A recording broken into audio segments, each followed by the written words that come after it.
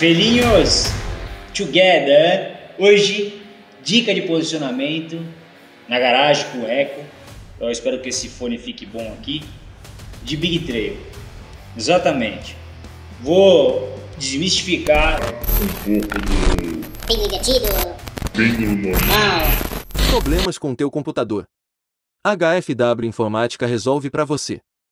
São mais de 10 anos atuando no mercado de venda, manutenção autorizada e assistência técnica de notebooks, computadores e tablets. Quer saber mais? Acesse o link na descrição.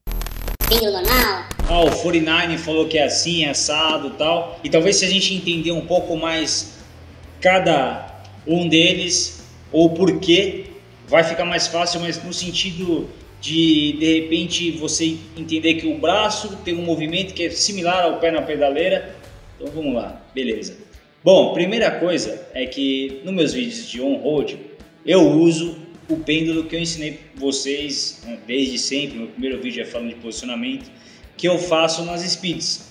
Como que é? É o seguinte, o braço em ângulo, certo? Então, no mínimo, alguma coisinha, para que se tenha alguma chimada, eu consiga acompanhar e não ficar rendido, porque se eu estou totalmente tenso aqui, qualquer coisa que acontecer é como se fosse um ipom, é como se fosse um azari, você toma um golpe de judô e vai para o chão. Então você está aqui, ou se estiver pendurado também e ficar tenso, você vai para o chão. Então você está aqui num ângulo bacana, e aí quando você vai sair, olha o tamanho do tanque dessa moto aqui. E toda Big Trail tem um tanque bem avantajado. Então você vai colocar a, a meia lompa no meio banco, tá? vai apoiar o joelho aqui no tanque e na Big Trail com muita facilidade. Vai abrir essa perna, porque essa perna vai funcionar como se fosse um flap.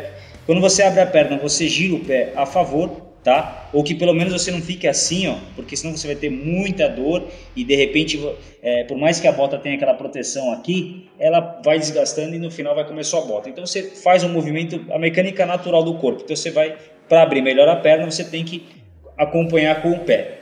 Feito isso, automaticamente você já vai ter a força do vento aqui, o que vai trazer a moto para dentro da curva.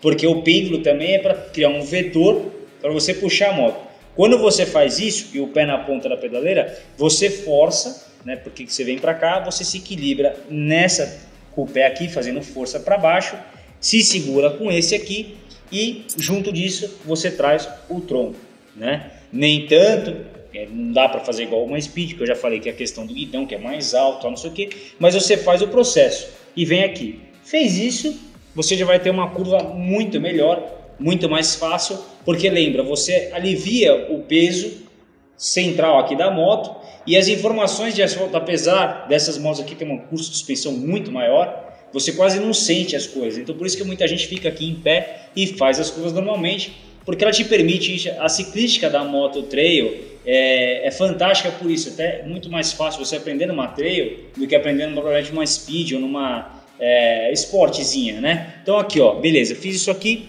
fiz o pêndulo, já era. Isso aqui eu uso sempre que eu quero fazer uma pilotagem mais agressiva para qualquer tipo de moto. Até quando eu treinava de supermoto, eu fazia isso porque no treino está mais próximo do que eu uso na pista e o pêndulo para mim ele é fundamental e ajuda muito você desenvolver bem a curva, você limitar a inclinação, você entender um pouco melhor o que está acontecendo, ter mais feeling da motocicleta, não se desesperar com cada chacoalhada que ela dá, porque você sente menos, você atrapalha menos. Então isso aqui. Só que aí quando você vai para certos tipos de canais, não estou falando que está errado nem não, Muitas vezes com essas motos você vê o pêndulo invertido, que é o que? O cara fazendo justamente o oposto. Ele vem com a bunda um pouco mais para cá e faz esse movimento aqui, ó, né? Ele faz esse ângulo aqui assim, né? E faz ou estica um pouco a perna aqui e tal, que isso vem do cross, ou então naturalmente ele faz isso aqui. Funciona nessas motos e em qualquer moto? Funciona. Se você pensar que quando você faz o inverso, você deixa esse ângulo Speed esquece isso aqui. Nós estamos falando de trail e big trail, beleza? Aqui no caso uma big trail. Até mesmo para uma moto menor, eu não, não, não, não, vejo necessidade. Ah, mas eu vi os caras do Japão fazendo com Harley Davidson. Tá bom. Se você quiser entrar na, na polícia do Japão e quiser fazer aquele teste lá, que é abaixo de 60 km por hora, você faz o pêndulo invertido. Porque abaixo disso, você consegue fazer mais fácil o pêndulo invertido. Tá? Quando você está acima disso, você tem efeito giroscópio, você tem várias forças atuando na moto e aí você consegue também o contra-esterço por causa disso e é mais fácil o pêndulo. Naturalmente, quando você sai aqui, o que você faz? Você trabalha o contra-esterço, você força o pé na pedaleira e você aponta o cotovelo para baixo, forçando o guidão para frente e para baixo. Pequeno movimento. Quando eu faço isso aqui, ó, isso, eu forço da mesma forma o guidão, do mesmo jeito para baixo, porque naturalmente eu vou estar aqui assim, ó, fazendo isso aqui, e você tem o mesmo efeito do que você tivesse aqui. Qual que é a diferença disso? É que se caso você tiver com uma velocidade mais baixa, o pêndulo às vezes é complicado, porque você não tem um desenvolvimento bacana da moto. Então o, o pêndulo invertido aqui fica mais fácil em velocidades mais baixas, apesar de eu não usar ele também, quando eu estava aqui nessa moto ou nada. Mas se você vem da terra, onde você trava tudo no tanque, o trabalho é aqui, né? Você está aqui. Então você faz isso para cá, você faz isso para cá, você trabalha o guidão assim, trabalha o guidão assado, tal, e sempre trabalhando muito bem aqui a perna, puxando com o joelho para cá, puxando com o joelho para cá, trabalhando o quadril, mas sempre dentro desse ângulo da moto e sentando da mesma forma no oposto. Por quê? Quando eu pilotei no off-road, é, minha experiência no off-road não é tão gigante assim, tá? Estou até é, indo em busca disso por conta desses testes que eu estou fazendo, que a gente tem aquela questão da terra. Então eu percebi que com o pêndulo invertido, você tem um melhor controle da situação na terra, por questões de estimado do guidão que fica muito leve, por questões de é, atrito, e aí, por exemplo, eu com o, o ângulo assim, se caso ela dá uma, alguma coisa tal, é mais fácil eu bater o pé no chão para salvar e se caso ela der uma rebolada, é mais, eu tenho mais movimento de banco para vir para cá do que se eu tivesse pendurado aqui. Aqui já é lona direto, então você está no chão. Se você usar pêndulo na terra, você está morto. Você não vai conseguir render em nada. Então, num off-road, cascalho, lá, lá, o pêndulo invertido é fantástico, ou você fica aqui direto ou em pé, principalmente para colocar o peso para frente ou o peso para trás. Se é uma descida íngreme, você vai botar o peso para trás, e se é uma subida, você vai colocar o peso para frente. Certo? Maravilha? Então, quando você faz o invertido, automaticamente você força o guidão para baixo, que é a mesma coisa que vir para cá, certo?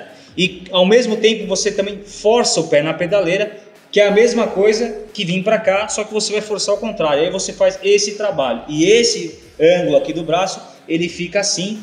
E aí quando for ao oposto, você vai ficar assim e você vai acelerar dessa forma. Então você pode usar sim o pêndulo invertido, só que no Orrunde eu não vejo vantagem alguma, principalmente se forem curvas acima de 100 km por hora.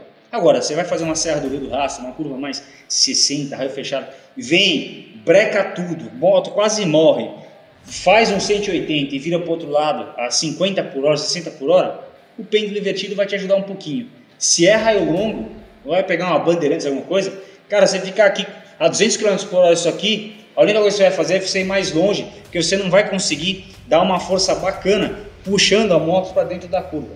Então, entenda que o efeito disso aqui, quando você força o guidão para cá, você força ele para frente e para cá, que é o mesmo efeito que você tem aqui, tá? A questão é você saber entender onde você vai usar mais, onde você vai usar menos. E em todo o meu onboard que eu fiz com essa moto no asfalto, eu usei o pêndulo tradicional, que é o pêndulo normal que eu sempre uso, eu estava até com uma calça de cordura, então não tinha nem como limitar o, a inclinação mais, a inclinação menos do pneu. Eu sei que estava inclinando menos, porque quanto mais eu saio da moto, mesmo não pegando o joelho no chão, eu estou usando, me, é, eu estou deixando mais reto possível a moto e tendo mais área de contato do pneu, então eu sinto mais seguro em fazer desta forma e me ajudou bastante e eu desenvolvo muito bem e todos os meus vídeos eu falo e provo na realidade.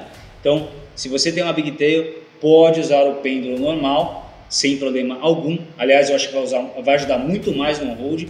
E se caso você for para a terra, esquece o pêndulo e aí você trabalha mais com invertido. Mas principalmente, em ambos os casos, travar o joelho no tanque é fundamental. Tanto para você se movimentar, quanto para puxar a moto. Perfeito? Beleza, espero que tenha, tenha ajudado. É, vou deixar um takezinho aí do, do onboard com, com esse, esse meu movimento do pêndulo. E é isso, aguardo o próximo. Tio Guedinha, deixa um like, se inscreve aí se não é inscrito ainda. E é isso. Au!